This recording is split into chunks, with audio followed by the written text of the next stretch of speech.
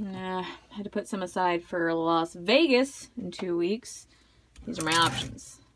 Okay, it's today and I'm wearing this dress. Let's talk about it. Let's hang out in the master bathroom. I'm running out of rooms. This is probably the dress I have owned the longest. And I actually remember how I came to possess this dress. It's a dress that my mom bought for me. I remember it cost $75 and I was 13 years old. This dress fit 13 year old Malia and I think she wanted to make me feel prettier and I thought it was a pretty dress and I did not and still do not like myself very much. Lifelong issues.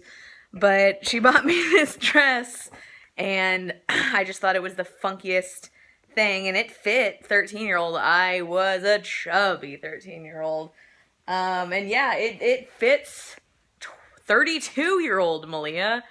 Um, okay, so this is one of those sentimental dresses that I'm gonna keep, but I never intend to wear ever again because this thing is ridiculous.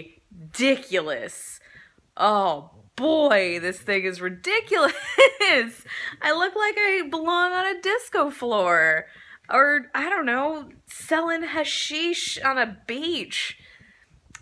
Yeah, so yeah, like, I, I love that my mom bought this for me, trying to make me feel nice, but 13-year-old Malia's tastes, no, not that great.